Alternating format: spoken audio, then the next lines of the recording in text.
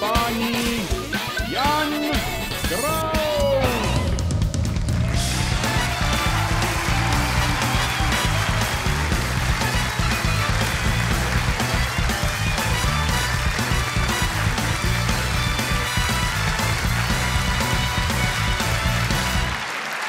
Dobrý večer.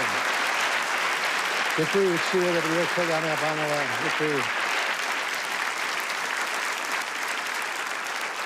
Děkuji, dobrý večer. Nemůžu na začátku minout svůj účast samozřejmě na té hrůze, kterou způsobili povodně našim spoluobčanům, ale nemusím tady o tom dlouze mluvit, protože většina z nich nemá prout, takže tohle ani neuvidějí.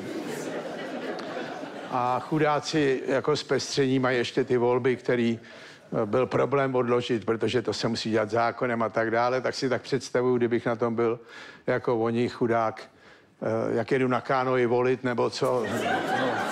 A teď budu volit, oni na ně budou dost podrážděni na ty politiky, ať už právem nebo neprávem. No, ale tak naším záměrem a ideálem je, pokud by někdo z nich proutněl a mohl se na tohle dívat, tak aby aspoň na chvíli zapomněl na to trauma, který prožívá a mohl se chvíli bavit, když se nám to povede.